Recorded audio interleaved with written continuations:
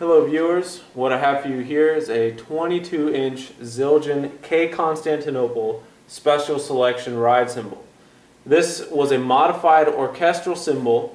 As you can see it does have the K Constantinople hammering on the bell uh, and I had the pin lathing added which is very similar to the K Istanbul cymbals uh, that you may have seen in the 50s and 60s.